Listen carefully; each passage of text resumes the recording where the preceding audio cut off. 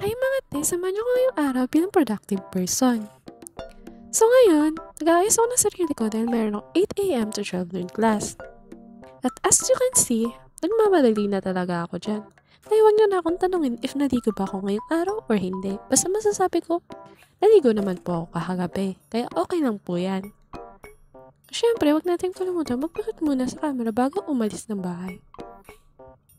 And now, nandito na po ako sa school. Can see, nakikinig naman po ako sa sinasabi ng teacher namin dyan. Pero mas nakikinig ata po ako sa katabi ko. Wala, hindi pa da ata siya na sure.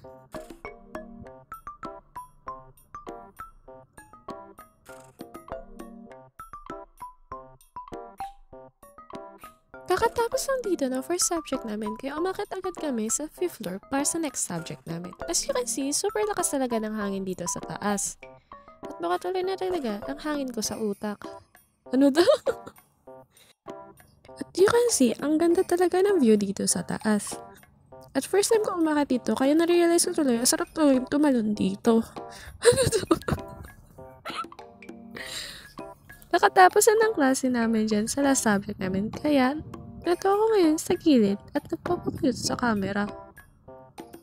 Bakit? May problema ba kayo dyan? Aking vlog to, kaya pues manahimik kayo dyan. At dahil lunchtime na ngayon, kumain kami dito sa McDo. At almost na kami kumain dito, nang biglang dumating naman yung mga kaibigan namin. At nagsasabi silang hindi daw namin sila niyaya. Hindi naman kasi sila nagtanong, mga ante. Mabait naman po talaga ako dyan. Mukha lang po talaga akong mataray. Kita nyo? Sa sobrang bait ko.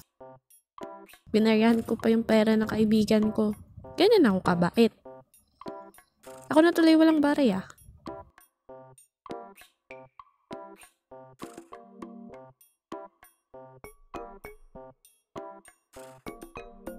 So, after namin dyan, umuwi din ako agad.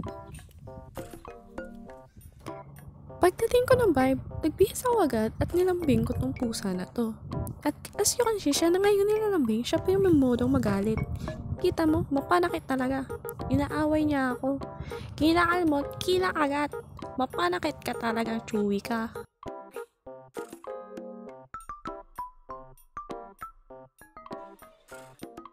Dahil napagod ako kakalaro sa pusa, kumain agad ako ng merienda.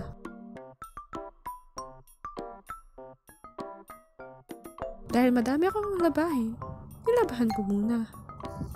At syempre, naghugas na din ako ng mga hugasin namin. Syempre, nilinisan ko na din yung kusina kasi mabait ako eh. May video kasi.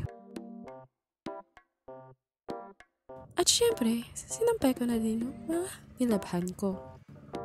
And ito naman to, may excite na naman yung pusa namin dito sa taas, sa terrace. Kita mo yan? Kita kulit na naman yung mga ibon. And that's it for today's video. Bye-bye!